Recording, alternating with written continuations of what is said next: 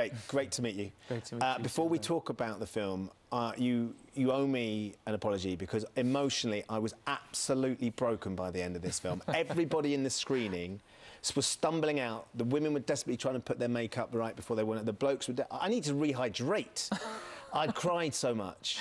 I, I hate to be laughing at your sadness, but it's it's a nice it's a it's a nice feeling because I, I feel like you know the movie is.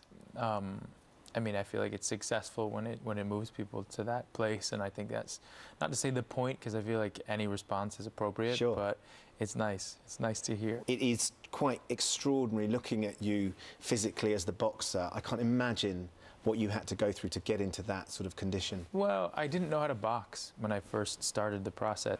I was nervous because I knew nothing really about boxing, and I hadn't. You'd never boxed before. You'd never. I mean, a bit, you know, you know, cardio, aerobic, there, yeah, yeah. a bit of mitts every once in a while, but.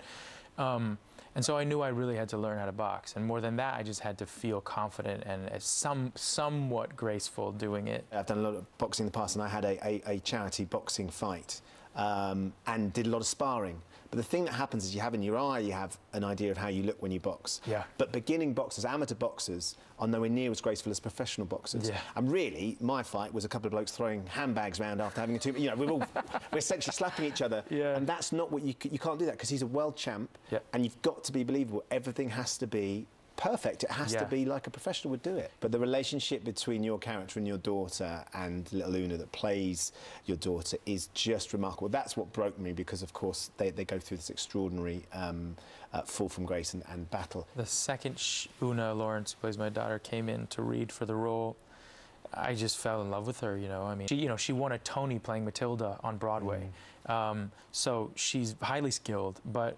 really, I just her personality. You know, she walked in with these oversized tennis shoes and you know these like colorful patterned leggings and these glasses, and she was just a real girl. You know, and and so I saw her and I, I really fell for her immediately, and and that never ended throughout the whole mm. the whole shoot. You know, not only my respect for her as an actor, which sort of just made me fall for her even more every time we'd do a scene because it was fun to work with her, but just her as a as a human. So that stuff came very easily. That that love between us was just inherent, and uh, I, I I adore her. Yeah. I really adore her. If you set out to break me completely, you did absolutely great, uh, Jay. I, I, Making me laugh. Yeah, like, if you set out to break me. I'm like, you did it.